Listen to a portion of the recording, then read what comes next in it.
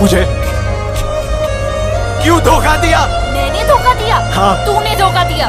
तूने नहीं बताया कि तू हकला है। Anyway this conversation is pointless okay मैं तेरे जैसे से शादी नहीं कर सकती।